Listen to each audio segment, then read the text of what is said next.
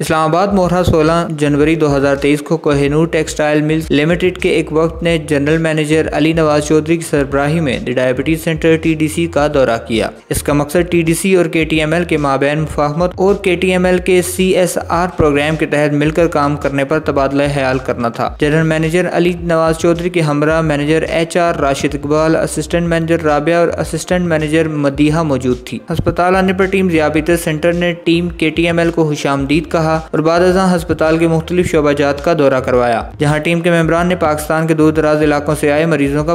के एहसन इलाज होते हुए देखा अस्पताल आए वक्त ने टी डी सी के चेयरमैन डॉक्टर असजद हमीद और सी ओ ताहिर अब्बासी से भी मुलाकात की और बाहमी शराकत के मुख्तलिफ अमूर पर तबादला ख्याल किया टी डी सी के इंतजामिया ने वक्त का जियाबित सेंटर तशरीफ लाने पर शुक्रिया अदा किया के टी एम एल के जनरल मैनेजर अली नवाज चौधरी ने जियाबित सेंटर की काविशों को भरपूर अंदाज में सराहा